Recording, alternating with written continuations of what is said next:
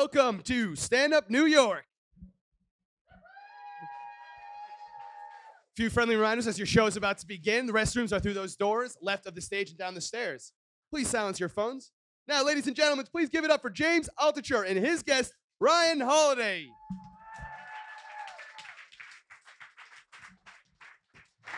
Thanks everyone for coming, and uh, we're gonna have we're gonna talk. We're gonna have a podcast, and then we're gonna have some Q and A. And Ryan's gonna give out challenge coins to everybody who asks a question. So think of your questions along the way, and we're t- we're here to talk about his book. Oh, I'll hold the real book. James Still has like the the- earliest possible copy. This is like before it was even. I didn't think you were such a bad speller until I read this early copy, but now I figure you got you clean up your act pretty well. Yeah. So so I just want to tell one quick story. Okay. So when Is this on? when we first met, or around the time we first met, I gave Ryan what I thought was excellent advice, which is, you know, he had just come out with um, the book "Trust Me, I'm Lying," uh, which is your excellent book on on marketing. And I said you should start uh, like a marketing agency, like this boutique agency, build it up to a few million in revenues, and then sell it to uh, an advertising conglomerate for 10 million, and then you could do whatever you want after that. And I think you did it for about two weeks. Yeah. And then the next thing I knew, you had moved back to Austin. You basically had skipped my entire advice and just started doing what you wanted to do instead of working to do what you wanted to do, which I thought was really smart because I spent 15 years trying to do what I wanted to do until I realized I could just do it.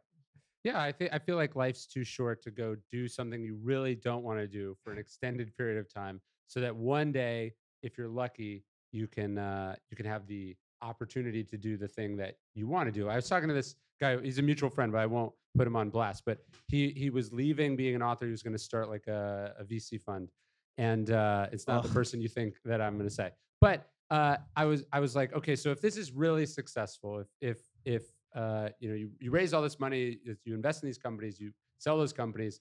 Let's say you walk away with like twenty million dollars. Wait, I was like, what are you going to do with twenty million dollars? And basically, he walked me through this convoluted plan that ended with him becoming an author again. And I was like, you can do that right now. It's what you're already doing. And so I think people don't really think about where they want to end up.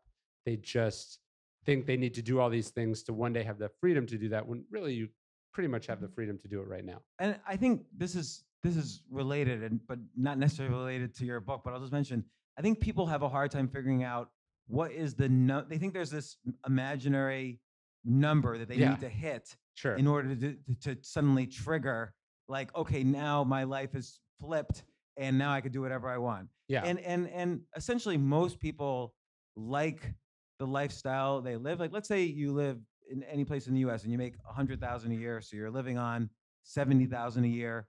Your number is probably, if you like that lifestyle, your number is actually much smaller than you think it is. You just need to make seventy thousand a year on interest, and, Sure. and maybe you work a little to to up up it uh, somewhat. But it's probably very easy for most people to piece together the lifestyle they want without saving twenty million dollars. Yeah, yeah, of course. Uh, or or the thing that they think they need the twenty million dollars to buy is actually much cheaper than they than they think it is. Like Right. you can you can go to the beach for a hundred dollars. You don't need to. You, you can go. You can do these things more cheaply and more affordably than you think. But people people put it off in the future, and and then it never ends up happening. Right. If you think about it, right now you could watch a two hundred million dollar movie right on a movie a movie theater size screen in your apartment for a few hundred dollars. You can get essentially what used to be called slaves and now are called you know Grubhub delivery people. You get any food, any food cooked by a master chef could be delivered. It's as if that chef is in your kitchen. Could be delivered Sure. right to you sitting on the couch watching the two hundred million dollar movie. Uh, oh, you need prescription drugs? Just call up the pharmacy. They'll send it right up. There's nothing. But somehow people are actually more miserable now than than ever before. So people say that, and this now we're going to start to segue into it. Yeah. Is that actually true that people are more miserable now? Like people say that, but is it true? And how do you I just define mean that? I, I just mean people for all of history thought if we just accomplish this, if we just get this, uh, w- finally, like we won't suffer, we won't be we won't be unhappy. But the truth is, the goalposts always always move. There's this like famous uh, there's this famous quote. Some sort of very well-known British uh, sort of government official was talking to some American, uh, and this is right as America is sort of ascendant, right around the turn of the 20th century, and he's like, "Why do you Americans think if you just have this empire, if you just conquer these things, you will be happy?" And he was like, "Look at us, we have the biggest empire in the world, and we are not happy, right?" And I think we we think that if we can just get on this other side of the mountain it'll finally be good and it never is and and this is true not only on the individual level but i think this is true sort of like what does china think it's going to be like when they're the number one global superpower i think they're going to find out that it sucks it's probably better to be number two than it is to be number well, one well, here's the other thing. What what is the fear of being number two? Right. Like there are Probably many nice. countries that are kind of numbers two through twenty, and they don't seem to be. well and actually most of those countries are able to be happier because they don't have the burdens of whatever being number one like sweden gets to do whatever they want because they know that the other powers are taking care of all the tough stuff. Like the reason we don't have social the- reason that europe has all these awesome sort of socialized medicine and all these awesome social programs is because like we pay to defend the world and they don't, they don't have to. We're getting political but the point is like it's actually wonderful to to be number two because you don't have the responsibilities and the burdens of everything falling on you Well, so n- now I will segue because this is related to. So your book is "Stillness is the Key." It's the third in your. Can you call it your Stoic trilogy? i would call it a trilogy but not a stoic trilogy So, so uh, you have obstacles the way, ego is the enemy. Now, stillness is the key. Um, this one I, I feel is the most. Um, this is the most uh, prescriptive. So, ob- obstacle is the way, and ego is the enemy. It were, I felt were books about looking at particular situations that were difficult uh, and kind of reframing them to say, here's how you find the opportunity in these difficult situations. This one is more prescriptive in the sense you tell many stories about all these famous historical figures and how when they moved from, let's say, overactivity, overthinking, even over philosophizing, and just kind of found their own particular stillness, and you list, a lot of different methods to find this stillness, that that actually kind of created well-being for them and even even success, whether it was monetary or political or or whatever. Yeah, I think it's interesting. Like when you look at like who the main figure is in like all of the religions or schools, you look at Buddha or you look at Marcus Aurelius or you look at Socrates or Jesus, they're like the same guy. Like, I mean, it's unfortunate that it's all guys, but like the the place that they got to, this sort of place of not being jerked around their by their emotions, being very intentional, thinking very clearly, speaking very clearly, having a very clear sense of what's important and what's not important, having this sort of timeless wisdom. They're they're even though they're getting there in very different ways, whether it's Christianity or Buddhism or Stoicism or Hinduism, they get there. They get to the same place. Like there's no there's no like uh, philosophical school where the the main figure is like running around busy and stressed out. Like the the, the key uh, the the end spot of all wisdom is some kind of stillness but, some But- slowing down. But let- let me let me ask about that because it seems like in the modern world, like take Buddhism as an example, and people who strive for Buddhism is almost like the opposite of trying to find any kind of normal secular success. And Sure. yet, and, and the same with with all of these all of these religions uh, uh, and and many of the philosophies you mentioned. In stillness is the key. You're you're talking about s- stories like ranging from John F. Kennedy to Mr. Rogers to Martin Luther King and, and many other people.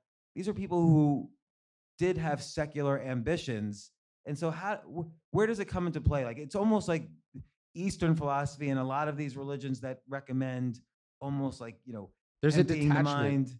that that that I think is the fundamental problem with the Eastern philosophies and why they they they don't totally resonate with people and why I don't think they're they're quite the right fit for the world we live in because look it's easy to find sort of stillness and peace when you uh, are in an ashram in India or you are on a 30 day silent meditation retreat in a beautiful monastery in the hills of Japan or something but that's not real life. And and why I tend to write about the stoics and why I think they're the sort of school most we live in a I was looking at some Twitter thread where they were like the reason roads are a certain distance apart right now is because like that's the distance like the, the width of a road is somehow descendant from like the the width of roads of of the roman chariot. Like we live in a world railroad tracks are a certain distance apart because this is a certain distance apart ultimately because like that's the roads that the romans built so we live in a world that is like descended from ancient rome we don't we don't live in a world in which i think zen buddhism or confucianism as important as they are in the east it doesn't totally track because there is this kind of detachment from the real world. Like, so if you think about Buddha's story versus, say, Marcus Aurelius, I'll get a little nerdy. Buddhist uh, Buddha, if he is a real person, I think he probably was, is a prince. His father is the king of some sort of small country.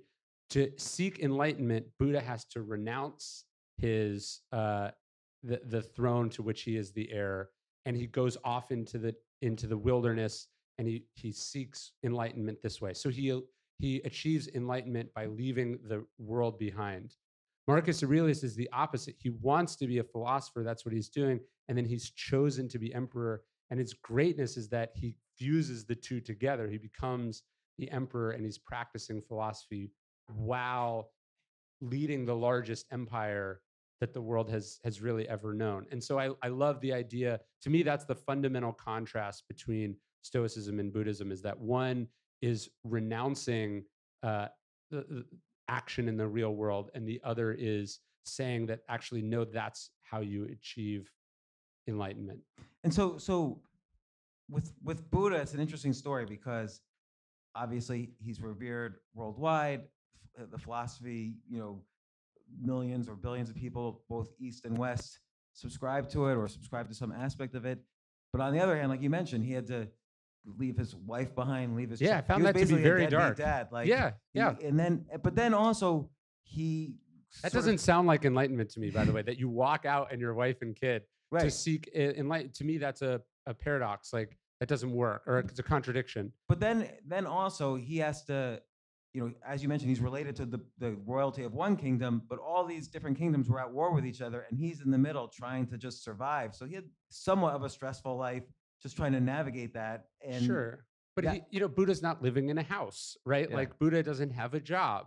Like Buddha isn't doing any of the things that we have to do as people. So I think there's a lot of insight there, and, and clearly, I tried to build a book around uh, uh, all sorts of insights from Eastern religion.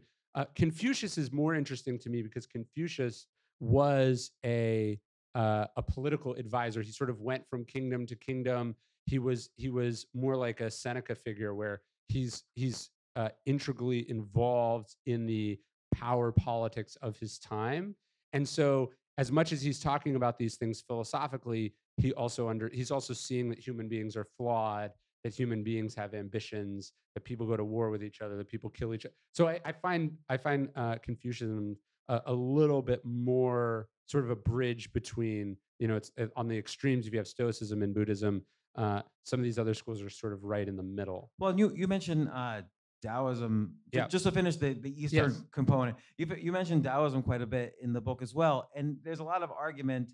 We don't know if Lao Tzu was a real person, and there's Right. a lot of argument that maybe he was a political advisor, just like Confucius, because the whole book can be reframed as political advice as opposed to spiritual advice. Mhm. And so there, it strikes me as much closer to the Yeah. concepts you're talking about in stillness. I think so. And so, so when we first spoke about Stoicism, I think it was 2014. It was right after. oh, That's when Obstacles the Way came out. I think. It was Yeah. 20.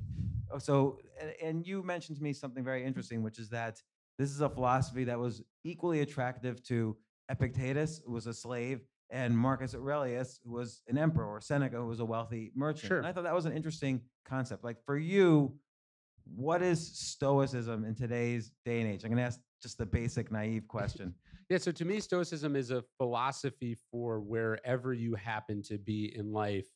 Um, it's it, whether you're living an awesome life or as was much more common in the Roman Empire, you somehow the dice roll and you're in a shitty situation. Stoicism to me was this philosophy that was designed to help you get through that or to to live your best life. You know, there's a lot less uh, social mobility and agency in a society that has slaves like thankfully that's not where we are now but like um does it people are still born into all sorts of circumstances that are not ideal or they're born fat or they're you know they're born short or you know they're born this or that and so they're struggling to figure out like how do i make the best of whatever i've been given? And to me stoicism is designed to help you sort of optimize from there. Like so the four virtues of stoicism are courage which we know is important uh, temperance so moderation we know is important um, justice doing the right thing we know is important and then finally wisdom like intelligence education uh, understanding. And so as a philosophy those four virtues are true whether you're uh, true and imperative whether you're the emperor or whether you're struggling at the the ultimate like sort of lowest point of the food chain. And i think uh, what stoicism is there to do is to sort of give you a, a framework or a rubric for how to act how to live what standard to hold yourself to sort of wherever you happen to be So, but sometimes, and this relates to everything from you've written from obstacles the way till to this book, stillness is the key. Sometimes you can say that, like, okay, I'm gonna live by my values, I'm gonna live a life of integrity, blah blah blah, and then, as the great Stoic philosopher Mike Tyson has said, uh, everyone everyone has a plan until they're hit in the face. Yeah. So, like, somebody could be thinking, oh, I'm gonna, I'm focused on the Yeah. now, I'm living a Stoic life, I'm, and then their wife leaves them, they lose their job, they're angry, they're depressed, they don't know what's happened, they're afraid, they're really scared. And then how like if you're in that point of fear where you just don't know what is happening in your life and you don't know if things are ever going to be good again, what would what would be the first steps mentally you would take to sit, to to bring yourself back to that stillness? Well, I think that's what what is so interesting about Stoicism is that you know, Buddha, we don't really know any like sort of real things about him, right? Like we we know these sort of anecdotes and stories, but he's not. It's it's just long ago enough that it, it's hard to relate to that life. So, but I think Seneca is so fascinating. So Seneca is like this senator. He has a good job. He comes from the right family. He's powerful.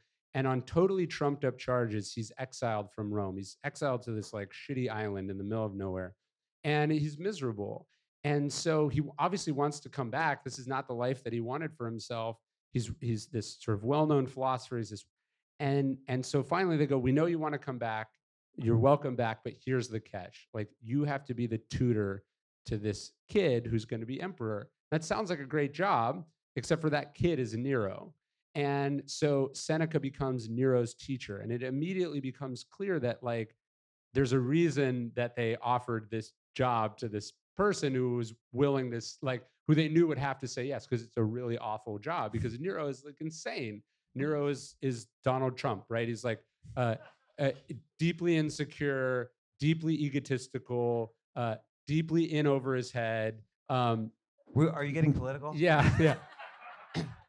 um, you know, uh, uh, obsessed with being liked, but being deeply unlikable at the same time. Right? I could go on. Uh, and, and, and then and then you're sort of deeply corrupt and, and deranged in some way. I, I- again, I could go on. Uh, but but so now Seneca's like stuck in this predicament. Like he wrote about how a philosopher only does what's good, and you know, um, uh, but a- a- and so he wrote about all these things in theory, and now his day job is to like show up and work for this guy who's like plotting to murder his own mother.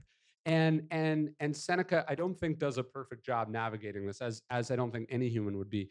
And so for a long time, I think he's in this interesting situation where he's like, well, if I don't do the job, somebody else, uh, maybe the job won't get done, right? Like, or if I don't do the job, someone worse will replace me. And this is like something a lot of people in the Trump administration have talked about, right? They're like, I felt like my job was like taking papers off Trump's desk so he didn't like pull us out of NATO, right? Mm-hmm. Like people, so so it's this complicated thing where like you're sort of complicit or active in something you disagree with, but the real world is complicated and you know like if you don't do it it's going to happen anyway.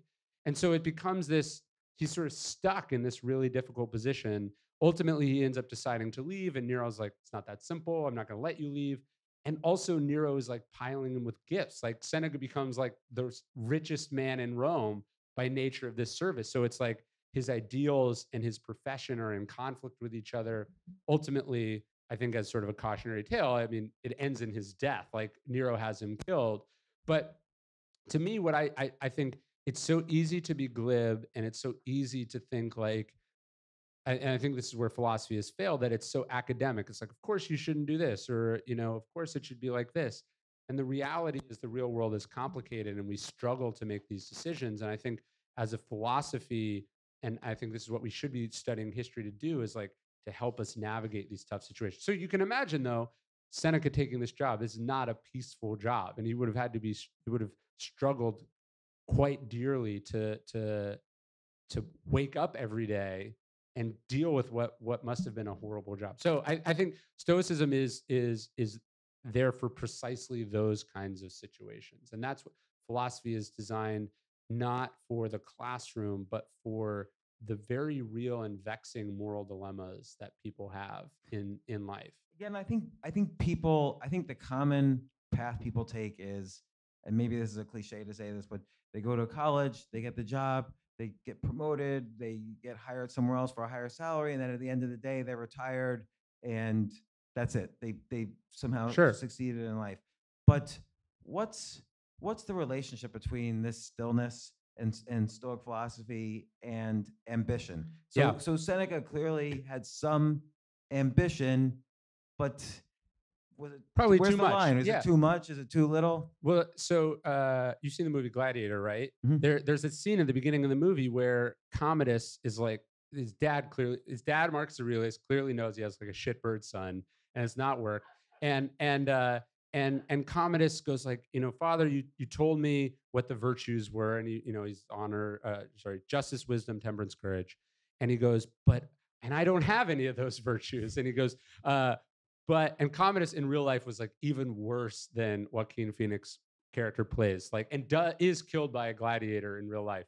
Um, but uh, he um, he goes, but I have other virtues. He's like, isn't ambi- isn't ambition a virtue? Like I have ambition, um, and and the the subtext is like, no, that's not a good virtue. But but I think w- what what they're talking about in the movie and what Marcus Aurelius talks about is like, it's good to want to be the best at what you do, it's maybe less good to want to be the number one at what you do. So does that does that distinction make sense? So like like Marcus talks about like so he, he goes like sanity is tying your ambition to your own actions. Insanity and unhappiness is tying it to the recognition from others. So so so if maybe another way is is he saying, okay, being number one, that's an outcome. That's Yes. that's that's an external externally measured outcome. Yeah. Whereas being good today, what can I focus on today to be better? You're focusing more on the process than the Yeah. outcomes. like hitting the New York Times bestseller list, that's uh, an outcome outside of your control. Writing a really great book is something you control. Discovering something in science or making some breakthrough, that's in your control. Being recognized in the form of a Nobel Prize, that's up to the committee that decides who gets the Nobel Prize. Being, uh, you know, an expert in constitutional law, that is uh, uh, in your control being admitted to the faculty at Harvard not in your control. If you think about all the people who haven't been hired there over the years because they were Jewish or black or women, right? There, so there's there's the the accomplishment of the thing that uh, sorry the the the accomp- the part of the accomplishment that depends on other people, as you say, choosing you, and then there's the fundamental craft or ethics uh, uh, uh, of the of, of the the process. And so I think the Stoic focus is totally on this and and I like the Nassim Taleb thing where he goes like, you know, uh, making enough money to afford a BMW, that's up to you. Like making enough money to afford a private jet depends on hard work and luck. And so the Stoics are like, the luck part, since it's outside of your control, is not worth anything.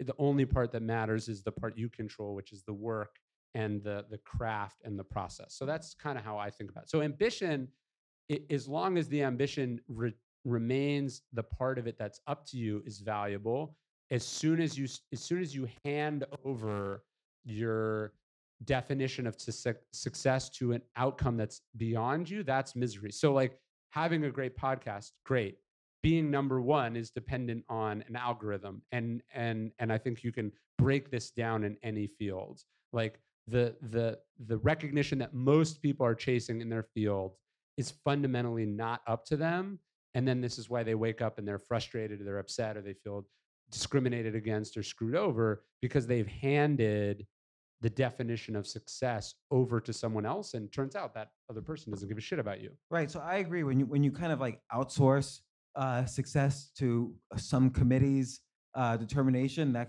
that's a problem. But let's say you're you're you're you're in the middle of it. You're in the middle of the Yeah. war, and you know the outcome's very important to you. It seems when you're in the trenches in the war. And yes, you could do the best you could do today. That's all you can really do. Um, but it's hard to kind of.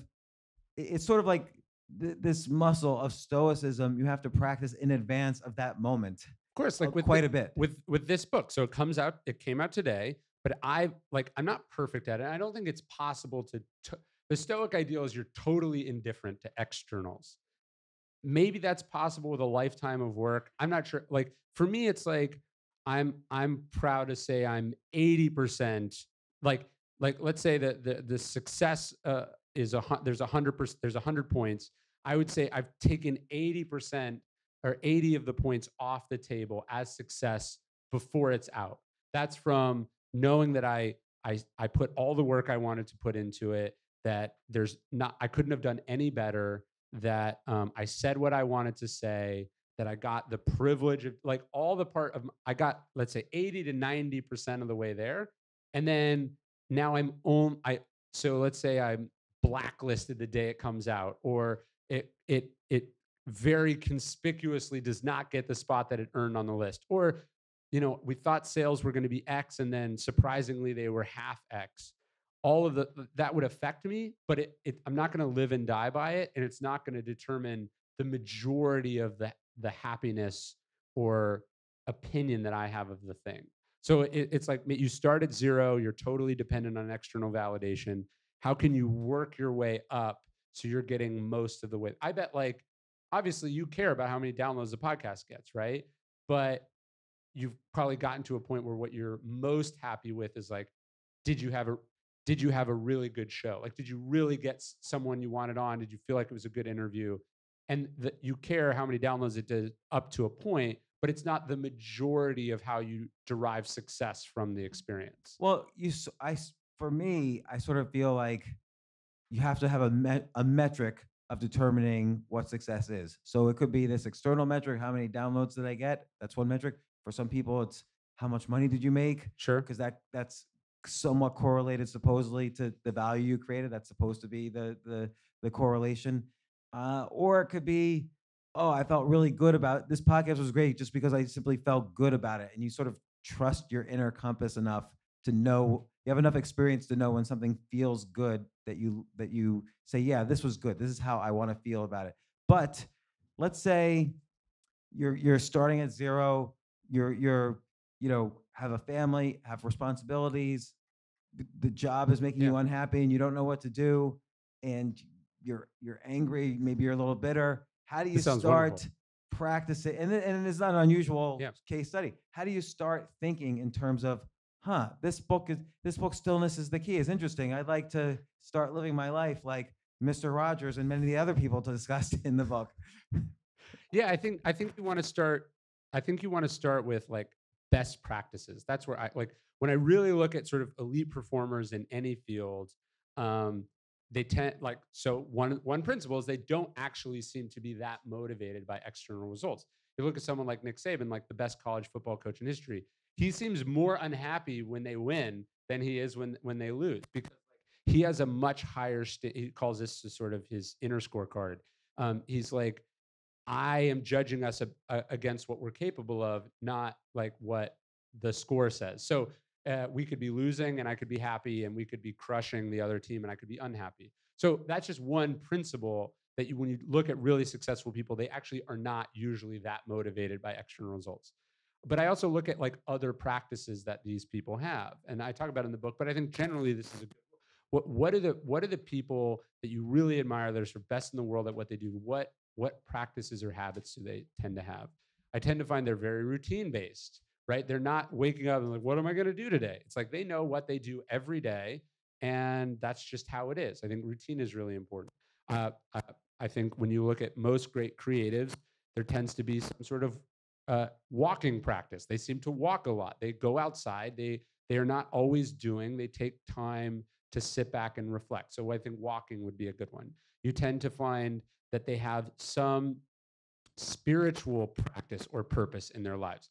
Very rarely do the people you really admire uh, turn out to be nihilists, right? Because why would why do it if you think it's all meaningless, right? I don't think that's uh, I don't think that's a good one. So I, I, talk about that in the book. I also think uh, I think one of the most pra- one of the most um, deeply personal ones that I talk about a lot now in my work is there's some active meditation on one's mortality. So like I wear a ring, it says memento mori, and on the inside it says you could leave life right now, let that determine what you do and say and think. And the idea being most of the people you really admire do not take even a minute for granted. They're not thinking like, "Oh, I'm going to live to be 80." They live as if they're on borrowed time. And this this sense of borrowed time allows them to be productive. It allows them to prioritize what matters. It allows them to to seize every moment. And I think it also allows them to be quite grateful for the time and and and privileges that they do have. So I think what you do is you you look at the people you really admire, not just for the outcomes, but the people who seem to be handling their success well, who seem to have character that you admire, a life that you admire. And you try to back out from there. What are what are principles and practices that you can replicate in your own life? And I feel like what I try to do is I try to look at those things and then see where they overlap with the sort of stoic practices and then that's that's what my books are. So so you mentioned in all your books and i love how this book interweaves various stories from uh, political history sports history. Again even i'm just fascinated by the mr rogers story. I never thought yeah. that would be uh, my my favorite childhood. I was I was show. much more excited that uh, when I was writing the book because I started writing the book in 2017, and this is like before the Good Neighbor book came out. This is before Tom Hanks was going to play uh, Mr. Rogers in a movie. This is before the documentary. So I really felt like I discovered this like totally new side of this person, and it turned out like everyone was sort of onto it at the same time. But I do think he's a super fascinating. Like I think if he was Catholic, he would be a saint. I think he would be like on the track to be a even just the idea that he was like a Presbyterian minister, or Episcopalian, I forget, but like the idea that he was a deeply religious person and you could not tell one ounce of that from the show, but that he felt like the show was the best way to sort of witness and teach the principles that he believed in, I think it's just like an incredible. I think he's just an incredible human being. I mean, do you feel that way? Do you feel like you writing these books is this way to get this message out that you s- so strongly believe in? I mean, I can't think of another reason to write books. Mm-hmm. Like, I mean, if you're in books for the money, like you're in the wrong business, right? And if you're if if you're in books to be famous, you're also in the wrong business. Like, uh, you know, you should pick something else, right? And so I think ultimately uh, you've you've got the only reason to write a book is because you have something deeply urgent and important that you feel like needs to be said. And I think it's because of something we are talking about earlier. I won't give away what you were talking about, but I feel like you got to do the thing that only you can do. And so I feel like I'm talking about. I think it's interesting, you know. Uh, so I started writing about stoicism when really no one was interested in writing about stoicism. Like my publisher wasn't like, "Oh my God, we can't wait for a book about an uh, an obscure school of ancient philosophy."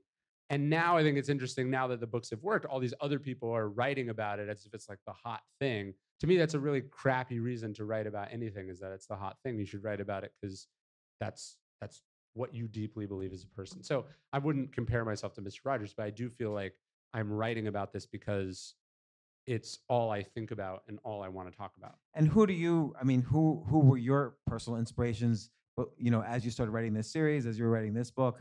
That's a good question. I don't know if I was really modeling it on any particular book, but um, I think Robert Greene, as a person who who takes stories and uses them to teach lessons uh, that that he feels like people have lost. I, that was certainly a, a big model for me. So, and I and I could see definitely Robert Greene's I feel like you have a softer touch. Like he he'll get he'll dive really deep into someone's history and then pull the meaning like super deep, like into the weeds. whereas think- whereas you're kind of you, you you're not assuming any knowledge from the reader. You'll you'll kind of skirt through the main points of the story, find something that's interesting, a lot of judgy language in No, no, no. No, I actually, but but. I'm, I'm, Yeah. I'm but it's it, it's very similar to Robert Greene style in some way that you're taking these historical uh, stories, you're you're finding what you value in those stories, and then bringing it to life. Well, so Which like he does this, in his- this in book his took own. like two two and a half years. Mhm. Robert Greene's last book took I think seven years. So I think Robert is going to like a, a DNA level, and he's going so in depth, and it's like each chapter is like hundreds of books that he's read. It's incredible, and so I think that's why he's the the best in the world at what he does. I feel like what I'm doing is I think my books are I think his books are like the definitive take on X. And what I'm trying to do in my books is present kind of like an introduction to X. And so I'm trying to introduce people to a story or an idea or a thought, and then you can you can go read all the source material. So I, I just think we're in different lanes, but he is always like the the to me like the bar that I'm comparing myself to.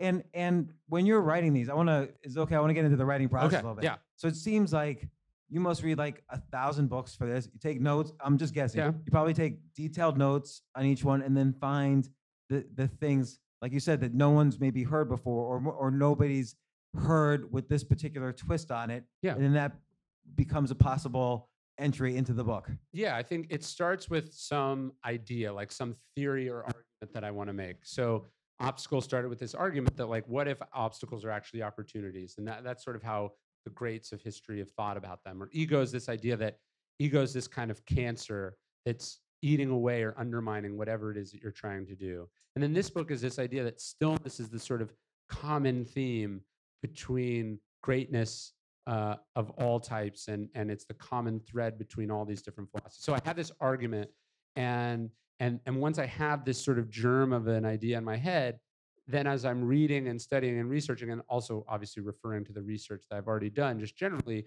I I start to notice sort of sub headings of that idea. So um, you know, what are examples of people doing that? And and and I try to find patterns, and then I'm I, I like this book is like 32 chapters, right? Or something like that. And so what I'm doing is it's here's my argument, and then here's sort of 30 sub arguments that illustrate that argument. And I'm looking for stories that illustrate the principles that, that people are going to hopefully remember. Uh, let me just ask, why are you holding up Mike? Oh, right. Is my mic going out? Yes. Oh, great. Ooh, sweet. One with a cord. Does that, do I need to turn it on? Better. That's good. Do I turn this one off? No. Okay. It's dead. So, do you ever feel like when you're looking at these stories, do you find that you, um, what's it called in statistics, when you fit too closely? You're like, using the con. What I'm essentially doing is using the confirmation bias to my advantage. like, right? like take take the example of John F. Kennedy in Yeah. the Cuban Missile Crisis. Yeah. Uh, you know, at first I wasn't sure where the stillness yeah. happened. Then you explain it, but I was just curious how you kind so of like so so the argument so let's say i'm uh, okay so i'm writing a book about stillness and then i've decided that i'm that at, from generally from my reading that there's like different types of stillness. There's a mental stillness there's kind of a spiritual emotional stillness and there's a physical component too. So okay so now i've i've, I've got a sense that's what i want to do. And then so a lot of this is sort of gut uh, and and intuition which is why you need all that practice um, and and you you kind of have to have a sense like uh, i think plato talks about this he's like how can you how can you find what you were looking for if you didn't already know what it is? Like there's this there's this weird sort of philosophical paradox that we must already know everything or how could we recognize it when we find it right? So there's like this sense you kind of generally know and so like so I, uh, so i'm sitting down i'm going okay I'm, i want to illustrate what mental stillness looks like and i kind of just flip through in my mind like what are examples that i'm vaguely familiar with that illustrate this potentially right? And so i i thought well i kind of like think about the i was like what are the stakes of the cuban missile crisis? That must have been interesting. Maybe i was thinking about it because politically we're now like i, I don't think that could ever happen again. Um, and, and so I was like, well, maybe Kennedy. The, the idea is not like I know Kennedy is the example. It's more like possibly he could be. So I'm going to go read a book, and I read is my mic still going out? Yeah, yeah, no, it's, it's Great. Um, so I, I thought maybe there's there's some idea that Kennedy could be, and so I'm reading Kennedy. So I, I start reading books about the missile crisis, and then I'm it, my hypothesis has been somewhat confirmed, and then I go really deep in it until I find it, which is kind of what you learn as a research assistant. What Robert Greene would do is go like, I want to talk about this. I think there might be something here. Go tell me if there is or isn't. So I would have to go do the sort of unpleasant work of like sifting through something or, or going down a lot of dead ends. And so the Kennedy thing turned out to be right, but I could have been, I could have found out, oh, actually, when you study the missile crisis, he proves the opposite of mental stillness. Or, um, you know, it, it turns out it's too complicated or muddled. That doesn't work. So you're kind of just looking for it. And what the weirdest part though is you have this sort of general idea and then you just tend to bump into things that end up working. So so along the way until you you got Yeah. here, you sort of uh, took a very alternative path. You you Sure. instead of finishing college, you were head of marketing at American Apparel. Then I, I think you worked uh, with Tim Ferriss. You worked with Robert Greene. You worked with Tucker Max. You worked with all these different authors and and and thinkers. And uh, was there ever a point where you sort of said to yourself, "Ugh, maybe I should have taken the nor the quote unquote normal path"? Like like at what point were you ever stressed enough that uh, stoicism wasn't enough for you, or you didn't have enough where I don't think I was ever like the normal path because I really don't like anyone telling me what to do. Like I really like so I'm fundamentally like not cut out for like having a job. Like I don't like uh having to dress a certain way. I don't like having to show up a certain way. I don't like having to go to things that I don't like going to. So there's like a, a just a a sort of I'm not like a a total uh contrarian, but I just I just don't like it when I don't get to decide how I'm going to do things. And so that I think ultimately sort of determined that at some point I was going to have to work for myself. So there, there was a there was a time where I could be a research assistant for a while. There was a time when I could have a uh, like a professional career. And there was a time I could work with clients, but it was going towards a place where ultimately like I had to like now, now sometimes like I'll go to DC, I'll have meetings, and it's like they'll have to wear a suit, and it's like my whole life is built around me not having to wear a suit. So it feels it's like very I'm like an like I'm like an outside dog or something. Like I I'm not familiar with the way and and I really don't like whatever the constraints of being like an inside dog are.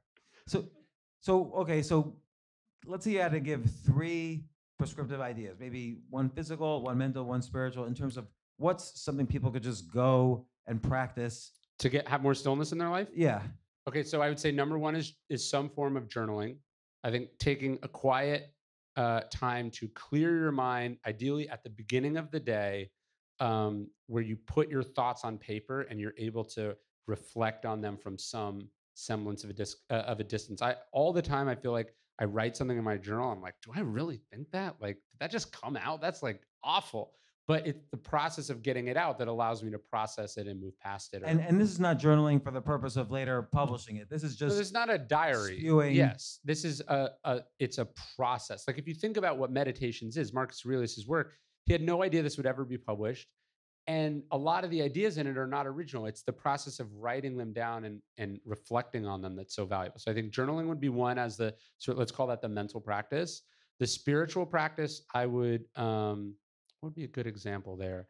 Uh, I mean, I, I think some some uh, some serious meditation on like why we're here, where we came from, what this all means. Because I do think if if you do if you think it's all meaningless, if you think uh, you know this is all random chance, if you think you're in complete control, uh, I think you will be rudely surprised, right? I think that's an awful. but let's say you do think it's random chance. Well, then I would I would think about how what does that random chance actually mean? So like what this the Stoics version of a higher power is a sense of the logos, which is the idea that like the vast majority of what happens to us is outside of our control. And so our fundamental choice in terms of free will is like, are we going to get dragged unwillingly or are we going to happily go along? Like their their analogy is like we're dogs tied to a cart.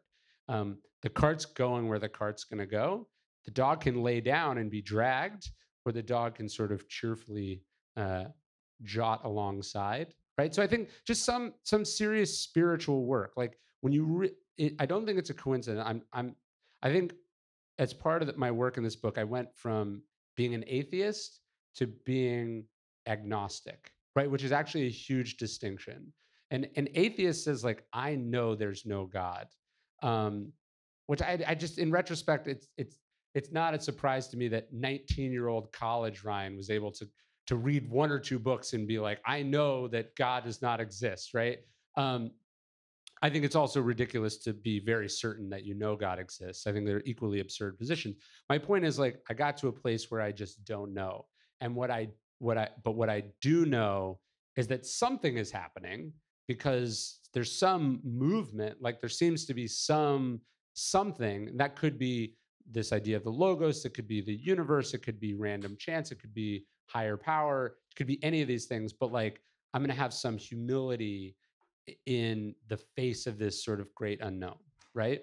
Okay, and so so that's a, a, That's a mental practice was was the journaling. Yeah. Spiritual practice is some reflection on, you know, what do we do in a universe where almost everything is out of our control? Yeah. If we want not quite happiness but well-being, would you say there's a distinction between happiness and well-being? Yeah, or or and there's certainly a distinction between like success and sort of spiritual purpose and clarity, right? So there's lots of people who have lots of money but are utterly miserable because they don't have any. They they think that the money or the fame is what's going to the happiness will ensue from there. But like I gotta I gotta think that uh, I I almost envy the sort of quiet humble happiness of religious people and and and I wonder why you know Naval talks about is like if if you're successful but you're not happy how smart are you do you know what I mean so some work on sort of spiritual health I think would be one and then the final one though I think uh, how does this how does this manifest itself in practice so I think um I guess I would talk about I talked about this a little bit earlier but like I I go for a long walk every day but it doesn't count as exercise. So I don't think about it for its physical benefits, even though it's a physical act. It's the it's the the clarity that comes from the movement that's very valuable. So I go for some long walk. And this is where I think. This is where a lot of my ideas happen. This is where I sort of try to practice gratitude. Uh, I think some active uh, movement throughout the day is very important. And ideally, this is done outside, not on a treadmill in your office. You know what I mean? Like this is, and it's not in a parking lot around your office building, right? This is like in the woods or on a nature trail. This is some sort of experience or exposure to something bigger than oneself. So la- last question from me, and then we'll have some Q and A. When you're in a plane and it's packed, do you put your recline your seat all the way? I would never recline my seat on an airplane because I'm not a fucking monster. Um, people always go like, but if it if if it wasn't okay to to to recline, why would they have the button? I mean, you can do anything you want. Just because it's it's allowed doesn't mean it's okay, right? Like I you I could one of you could put your feet up on this table right now. That's not like explicitly forbidden, but it would be a horrible, rude thing to do.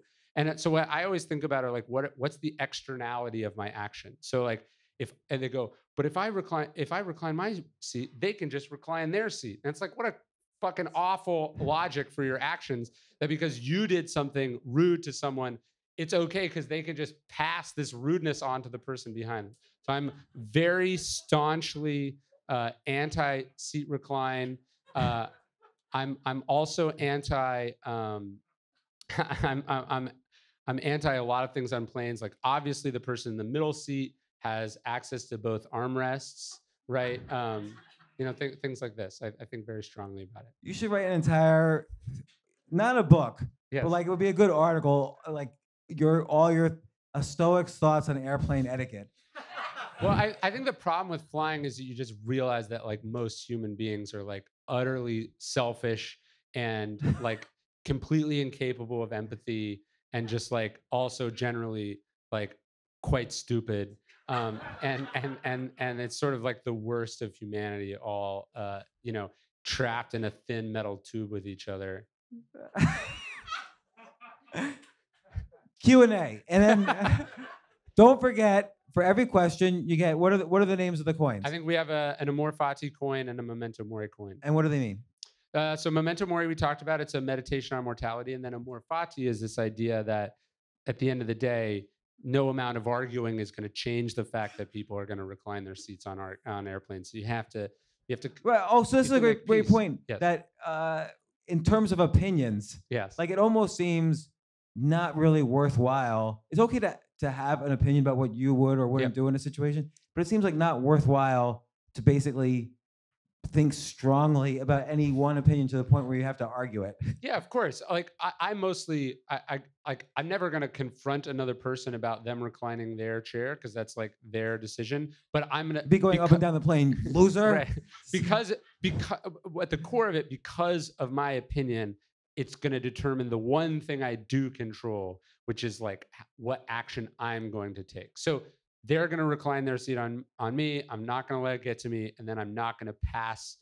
I'm not gonna. I'm just not gonna continue the problem. And I- feel also that that's a good way to practice. Of course. Uh, uh, I think this is a metaphor for life. Like uh, people are going to do awful things is not an excuse for you to be awful. And in fact, uh, all all you can do is just be the opposite of what you know you think is awful. so.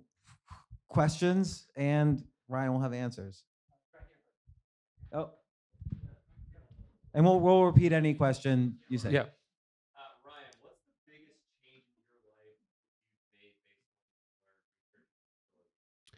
basically um, yeah, that's a good question. So he's asking what changes I've made in my own life as a result of of the the research that I've done. I would say journaling is a big one. I always sort of thought journaling was be nice, you know, it'd be cool. I sort of admired people that did it, and then really realizing that as far as practicing the philosophy goes, there's really no philosophy and or sorry, stoicism and journaling are the same thing. All the stoic texts we have are this process of meditating on the same ideas from different angles over and over again. So I think that's a that's a big one. The memento mori practice would probably be the second one. This idea of like, you know, I think most people ins- instinctively, reflexively do not want to think about the fact that they're going to die. It's scary and it it it threatens. It's like in the legal system, you're like jury nullification if you know what that is is like the thing no one can talk about because the whole system collapses if you can just like convince a jury that the underlying law is not important or or somehow unethical like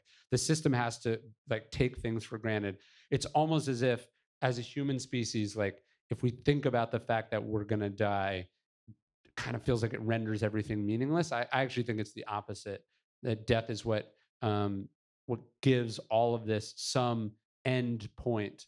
Um, it- it's what creates prioritization. It's what creates purpose and so I, it's something i try to actively think about and and and never shakespeare said every third thought shall be of my grave.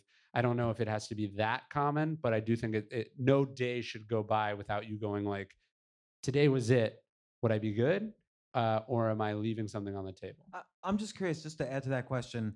I find if you think about death in the ways you've always thought about your whole life, it, sometimes what I mean is if you say, okay, I'm going to die probably within Yeah. the next 30 years, that feels like a really long time. But if I say, if I try to look at it in an unusual measurement, like, oh, I'm going to see my kids only six more times Yeah. before I die because now they're have their own families and I'll see them. Yeah.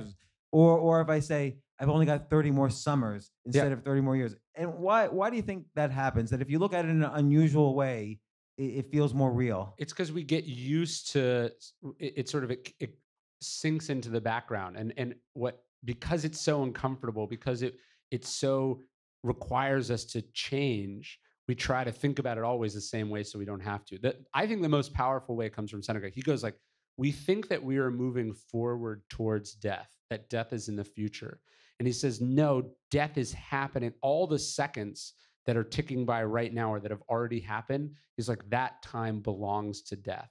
So instead of uh, instead of thinking that I'm gonna live to 70, so I have 40 years left, I think 30 years of my life are already dead. You know, and and so that that actually death is this thing that's happening right now as I'm talking. Seneca says we are dying every day, not that we die in the future. to me is like a way, a sort of a wake up call way to think about it. And a great way to encourage everybody to order another round of drinks Yes, from the bar. yes, of course. Uh, you had a question? Well, what? Oh, let her ask because she's. Uh, I call her. Yeah. Okay.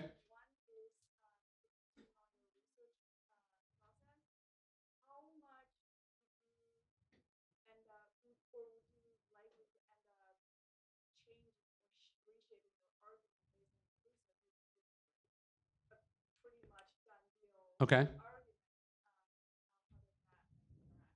And what's the second one?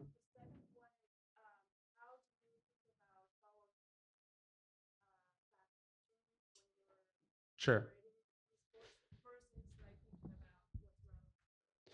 All right. So her question is: is how much does the where the the where the facts go, sort of in the research shaping uh, what you're saying, or how much is it you sort of already have the sense? And then she's asking sort of my personal fascination, how that affects things. I think what it, you start with a hypothesis, but it can't. It you know, there's this idea. I think it's from uh, who's the Freakonomics economist? Uh, Levitt, Steven Levitt. Levitt. He's saying uh, strong opinions weakly held. So you have some sense, but you have to be willing to discard and change that based on information. Like a, a, a scientist has a hypothesis, and then they go, they seek both confirmation and disconfirmation in the hypothesis. So that's what I'm doing when I'm, I think I know, but I'm willing to let what I find shape it and control it. But ultimately, I'm writing about what I think is interesting. So the personal fast, like you can write about anything. I only want to write about what I'm what I'm struggling with or I'm interested in or I think is is important to right now. So that's the ultimately the filter of what you include or don't include. Um, Oh, there was- Yeah. Who had the question back there? That. she's she's paying her bill. Oh, Uh, okay. Sir. Yeah. What's your question? Oh, no. First, I'd like to say I was a flight attendant for five years, so You're, she was a flight attendant for five years. Was he? Is Ryan dead on? But um, also, I appreciate your, but the thing is, I am a Republican, I don't appreciate you bashing the president. Hurts our feelings. It really does. Why why would that possibly offend you? You're saying something against our president, he's running our country. Yeah. I also think he's a fucking moron, and it's totally my right to call him a fucking moron. And if you called someone I like a fucking moron, do you, do you know what that would mean to me? It would mean nothing because it's your opinion. I didn't call you anything, and first of all, you're using your book platform to bash the president, and that's not fair. Okay, first off, it's to- it's totally fair. He's not. If I if I wanted to, I would. Ask anybody around here. Ask them what. Ask them what. Give me the. That you're using your book platform. That I'm using my book to say my opinion. That's like literally the definition of fair. and that me, a tiny regular person, would write about literally the most powerful man in the world. That's how is that unfair? How is it how is it unfair for a private citizen to express their opinion about the person who literally commands the largest army in the fucking world? That's like the definition of fair. You're using your book platform for this. For what? But- for my opinion? That's what my platform is for. That's why. Why would I, I? I get this email all the time from people. They're like, "How dare you say your opinion?" It's my opinion on my platform. Why would I? Why would I build an email list? Why would I be able to write? Why would I write books if I'm not going to use it to say what I think? Your book is about stillness. My book is about whatever the fuck I want it to be. That's why. That's why my name is on the cover. Let's do think- another question. I think I think though I think though the point is there's got to be ways for people to express their opinions even if you disagree with them. So I think that's the the definition you know, also of compromise and freedom of speech and a lot of things. I don't agree with everything Ryan says. I have I'll just say an example. I've had the same business partner since 1999. I'm pro-choice, he's pro-life, he's super pro-gun, he's super religious. Um, none of these things. And we've never once had an argument, even though we've talked about all of these issues. So I think it's I think it's healthy to have discussions about these things and be able to freely express your opinion without worrying about it turning into uh, a fight or a joke or, or whatever. That's that's why we have voices. So, all right. And, yes. Oh, that's awesome, man. Thank great honor to be here. I'm all the way back from India. I've been following your works all my life. Obstacle is the way is my Bible. Oh, that's awesome, man. Thank you.